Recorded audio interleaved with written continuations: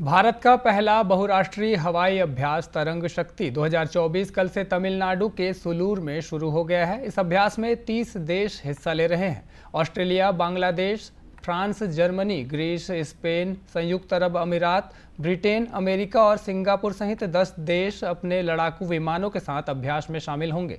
अभ्यास के पहले दिन कल जर्मन वायुसेना के ए फोर एम विमान ने तरंग शक्ति में भाग लिया।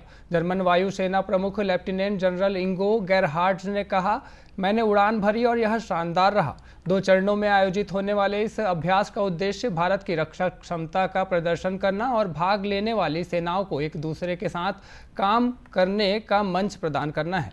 भारत में जर्मन राजदूत डॉक्टर फिलिप एकरमेन ने कहा है कि वह भारतीय वायुसेना के साथ touch the sky with glory के अभ्यास में शामिल होकर बहुत खुश हैं यह पहली बार है जब जर्मन वायुसेना भारत में भारतीय वायुसेना के साथ उड़ान भर रही है It's, it's fantastic and touching the sky with glory is the motto of the Indian Air Force and we are happy to join uh, with them.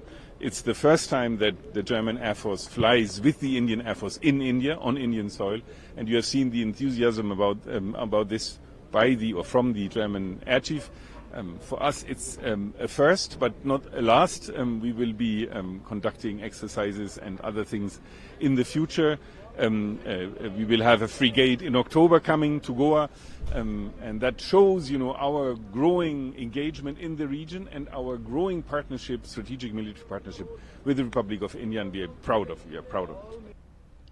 इस अभ्यास में भारत के Tejas, Rafale, Mirage 2000 Jaguar, MiG 29 विमान और अन्य लड़ाकू विमान अभियान, अभ्यास में भाग लेंगे। अभ्यास के दौरान उड़ान और जमीनी प्रशिक्षण, रक्षा प्रदर्शनी और सांस्कृतिक आदान प्रदान कार्यक्रम भी आयोजित किए जाएँगे। पहले चरण का अभ्यास 14 अगस्त तक चलेगा।